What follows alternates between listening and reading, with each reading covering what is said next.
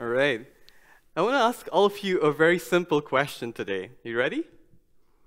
What would the world look like if every child in Americas or Africa, in Asia, Europe, Australia, even Antarctica, could go to school every single day? Think about it.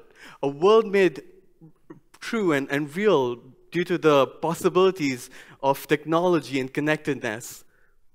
A world where right to education wasn't just a promise, but a reality.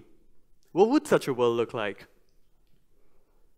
Would uh, every single country become developed?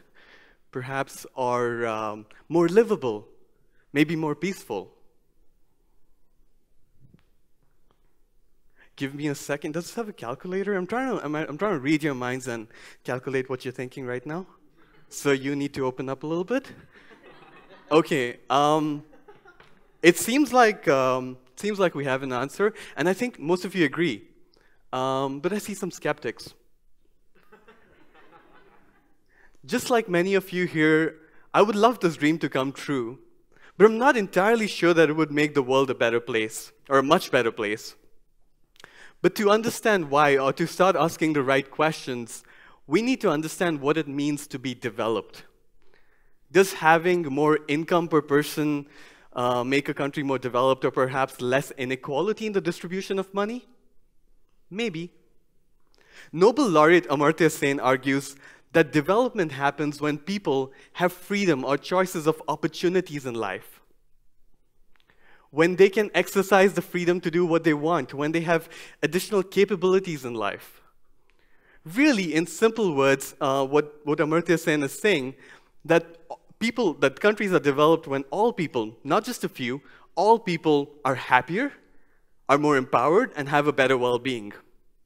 When they have the license to their own life's outcomes.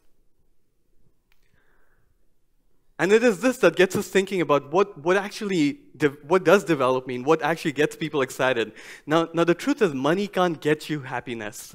Even though happiness is an end means uh, for, for development, money can't buy you happiness. Um, but feeling empowered can, and empowerment can. As it turns out, empowerment is directly related to feeling happy because one is happier when they can have relationships with people around them, when they can reflect on where they are and what they need to do to be where they want to be, and when they are physically and emotionally at peace. Would you agree? Great, so if this is the case, uh, and it makes so much sense. Why don't, why aren't we all groomed and grown uh, to, be, to be happier? And more specifically, why isn't, why isn't our education uh, kind of focused on making us more empowered? I mean, sure, learning math and sciences and social studies are excellent for professional pursuits and um, rational decision making and thinking. But the 21st century demands true empowerment for local and global challenges not ones whose answers sit in textbooks or teachers' answer sheets. Well, very unfortunately, K 12 education systems today are far from this reality. Most of them are built on the residues of the Industrial Revolution, and we all, you and me, happen to be clogs in this machinery trying to maximize the wealth of nations.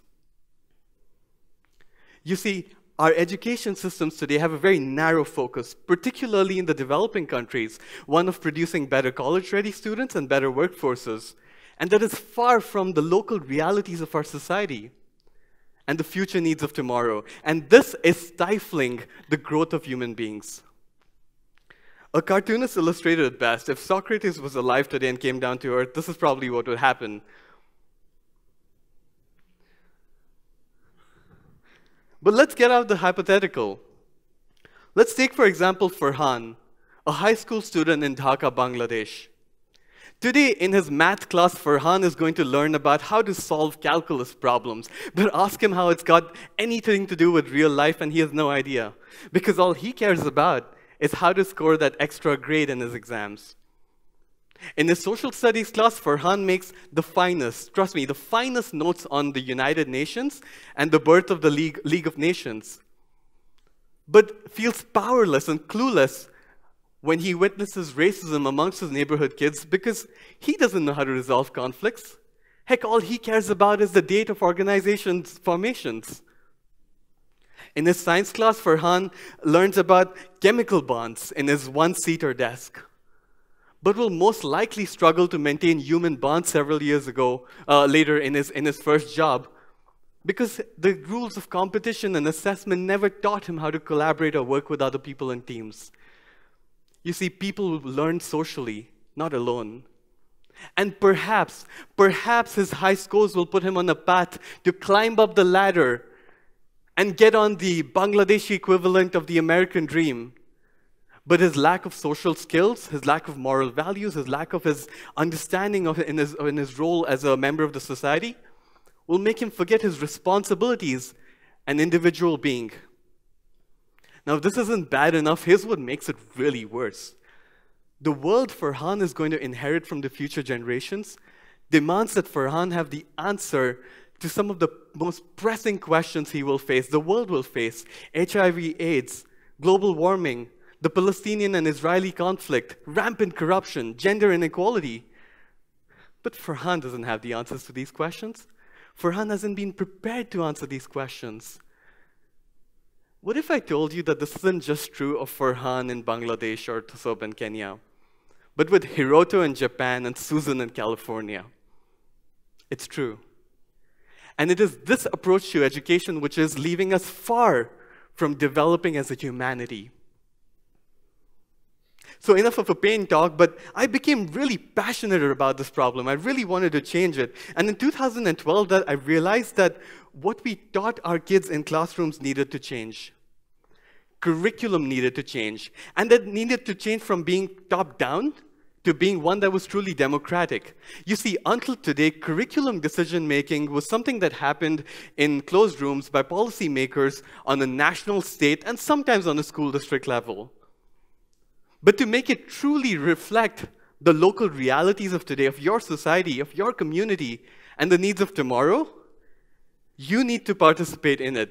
It had to bring together representation from all entities, public and private, parents and children, advocacy groups, most importantly, teachers.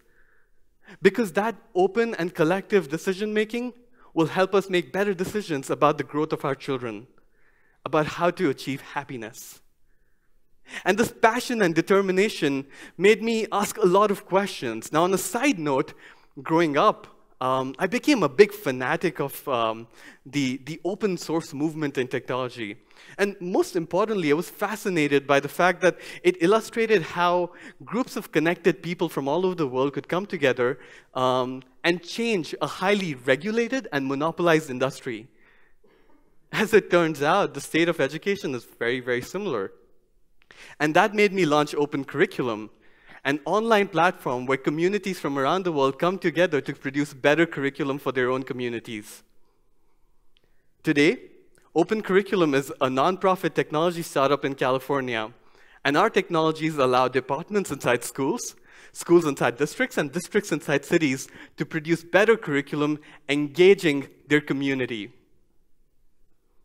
And it's really simple. Just anybody, anybody can go in with their community and produce better curriculum in a subject or skill area that they want to bring change in and produce lesson plans and syllabus right there.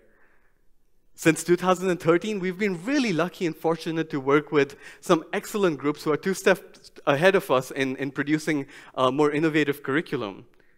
Take, for example, this NGO in India, Hippocampus, which is providing better reading and literacy opportunities to really affordable schools in India. They work with hundreds of schools and the poorest of children to uplift learning access. Using open curriculum, they're not just able to find better curricular content, but also instantly able to engage all their librarians across schools to discuss better outside the class reading activities. Or consider StuVoice, a US nationwide student network which is involving students in better decision making in K 12 opportunities and challenges around the country. Using open curriculum, StuVoice students are able to engage in discussions about what textbooks and resources they prefer for problem and project based learning. Just like these two organizations, several communities from around the world are participating in deciding what they want their communities to learn, what they want their children to learn for better citizenship. This never used to happen before. This brings me to my last point. until today, we've, we've focused on giving people what they need in a very imperialistic sense, in a, in a giving sense, when we don't know their needs. And, and our work demonstrates that we don't actually have the answers to everything. We don't impose our philosophies on education on any group, on, on what, what is needed to make local individuals better and smarter and healthier and happier. We realize that curriculum is different. It's different everywhere. It's highly local and highly contextual. Two schools within the same city and two cities within the same state have different needs. Heck, two kids within the same classroom have different needs because of their cultural and educational backgrounds. So we need to begin by humbly admitting that we don't have the answers and there is no one size fits all. There is no magic tablet, there is no broadband solution. But the lesson here is that we need to build bridges, not theme parks. And that if we provide what we call social capital to highly intentioned people from around the world to do things that were previously considered the responsibilities of the governments, we can move millions of people forward much better than we are today. And it all begins with the cornerstone of human development, education. You see, we're far from achieving our mission of complete openness and innovation in K 12 education around the world, but we know we've done something. We've ignited a fire. We've ignited a fire of not accepting the status quo of today's stale curriculum. And you shouldn't either. And so I ask you, no, actually, I demand, I demand that you participate in deciding what your kids learn, what Farhan learns. Because you have the power to change it. Raise your hand, ask the right questions, and change it. Change it because you don't want your kids, oh, I see a lot of students here. You don't want your siblings um, you don't want your siblings to grow up to be people who are great at memorizing facts or live lives in isolation like several of us are living. Change it because you, you want your kids and you want your siblings to be creative like Da Vinci, empathetic uh, like uh, Oprah, have leadership like Ford, responsibility like Gandhi, and curiosity like Newton. Because I believe that every child, every single child has that potential. And if we work together and we help bring that potential to life, happiness will be at the corner in the world of our dreams. Thank you so much.